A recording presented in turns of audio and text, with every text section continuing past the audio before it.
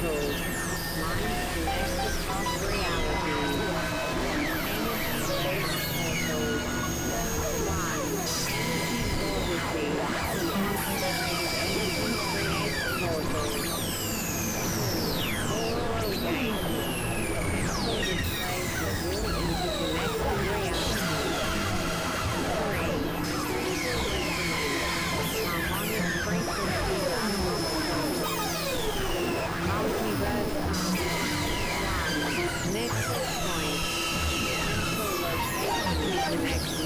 Yeah.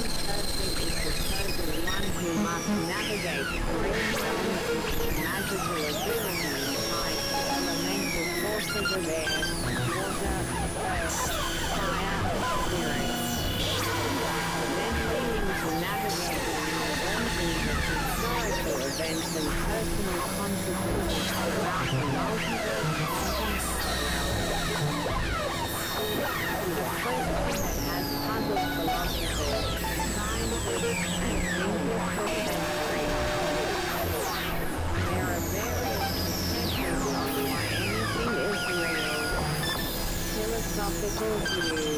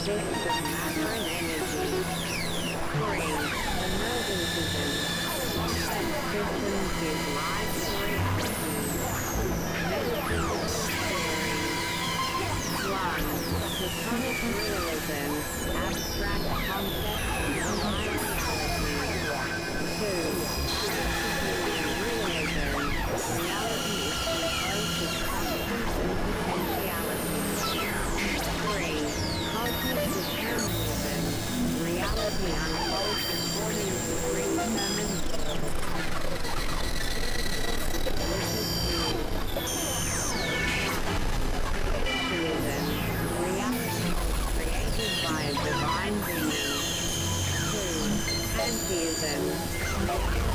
Nicht Three. Non-humanism. Reality is